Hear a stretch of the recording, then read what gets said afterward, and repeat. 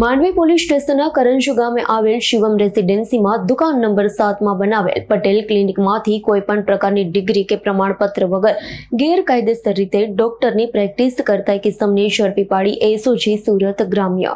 મળતી માહિતી મુજબ આજ રોજ એસઓજી શાખાના પોલીસ ઇન્સ્પેક્ટર બીજી ઈશરાણી નાઓની સૂચના અને police sub inspector V R ઠુમરના માર્ગદર્શન હેઠળ એસઓજી શાખાની અલગ અલગ ટીમ દ્વારા ચોક્કસ દિશામાં વર્કઆઉટ કરતા ગઈ તારીખ અગિયાર પાંચ બે હજાર ચોવીસના રોજ એસઓજી શાખાના police inspector V R Thumar તથા એએસઆઈ ભૂપેન્દ્રભાઈ અંબિકા પ્રસાદ નવને મળેલી સંયુક્ત બાતમીના આધારે મોજે કરંજ ગામની સીમમાં લીમોદરા, પાટિયા, કીમ માંડવી જતા રોડની બાજુમાં આવેલ શિવમ રેસિડેન્સીમાં આવેલ દુકાન નંબર સાતમાં પટેલ ક્લિનિકમાં તાલુકો માંડવી જિલ્લો સુરત ખાતેથી કિસમને ડિગ્રી કે પ્રમાણપત્ર વગર માનવ જિંદગી સાથે ચેડા કરતા રમેશભાઈ મુન્નાભાઈ પટેલ ઉંમર વર્ષ પિસ્તાલીસ, રહેવાસી હાલ કીમ. ગીતાનગર તાલુકા તાલુકા ઓલપાડ મૂળ રહેવાસી, રાજપુર જિલ્લો વારાણસી. ઉત્તર પ્રદેશને મેડિકલ સાધન સામગ્રીની કિંમત રૂપિયા એક્યાસી હજાર છસો અઢાર સાથે પકડી પાડી.